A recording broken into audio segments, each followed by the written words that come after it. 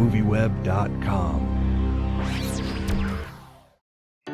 I have news. I got a promotion. What? I am now VP of our New York office. I am so proud of you, honey.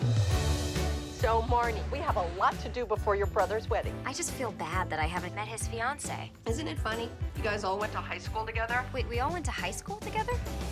No! My brother is about to marry the girl who single-handedly ruined my life in high school.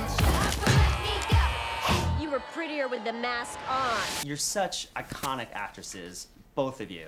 You've never worked together before. What was it like working together on We set? didn't You had know these each fight other. scenes. You hadn't even met. Well, We've apparently met. we had She doesn't met. I remember. don't remember. Thank you, Jamie. all I right. remember vividly. I don't Remember. She was so beautiful, still is. Thank you. Gorgeous. I don't and, uh, remember. Th- That's kind of like uh, your characters in the film. Yes, Kinda. exactly. There I am, screaming for a little love and attention, and she's like, Sigourney who? But um, anyway, it was wonderful to work together again. No. And Now I'll pay we you. hope, we hope that we will work together Oh, together well, again. it'll, it'll, it'll all We'll put it out in the universe. You're not so sure? You will see? No, no. I mean, the ch- you know, the chance. I mean, first of all, I mean, how often do you ever see anybody else from show business? I mean, true. the We weird don't all know irony, each other. We will have to make the effort. Now, luckily, we both have made an effort to say, "Hey, are you still there?" Because you know, you make these in, uh, very intense relationships, and then everybody goes off and makes another Mm-hmm. Yeah. movie, and you're making another intense relationship, and very rarely.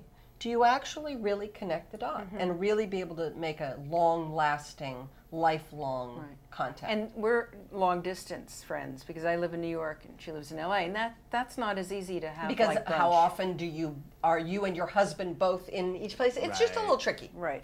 It's all good. I love that, you know, so relatable. You know, everyone has gone through this, you know, has high school experiences, is either a Marnie or a Ramona. Uh, or, It's or, like Betty you know. and Veronica. Remember that whole argument? thing? Yeah. You know, and that's why it made it so relatable. But they because were you were both either a Betty or a Veronica. They were both successful. There were I was more of a sandflea. What's the name? Jughead. I was a jughead In, in high school in yourself. real life or in the movie? in real life. wow. I was. Wow, Sigourney Weaver, Jughead. tonight. Jughead. The sequel. Tonight, an exclusive. I really felt like I was Jughead.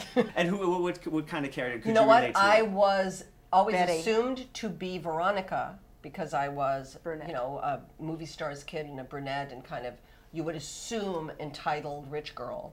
And I really just wanted to be Betty. I really just wanted to be that small town gal with the good boyfriend and not with that Reggie. You know, I wanted to be with Archie. Actually, Ramona is very like Veronica. She Yeah. is a little untrustworthy because she's insecure. Just a little though.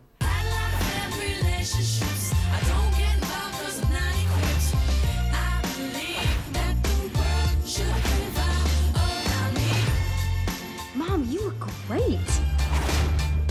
Quick, somebody call Us Weekly. Let's find out who wore it best. You again. You probably had lots of boyfriends, right, Joanna? Tim! What is your phone number, by the way? Someone changed your It's number. 555 0172. I'm also on Facebook and the Twitter.